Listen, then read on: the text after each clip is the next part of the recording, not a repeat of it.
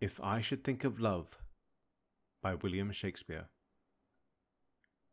If I should think of love, I'd think of you, your arms uplifted, tying your hair in plaits above, the lyre shape of your arms and shoulders, the soft curve of your winding head. No melody is sweeter, nor could Orpheus so have bewitched. I think of this, and all my universe becomes perfection.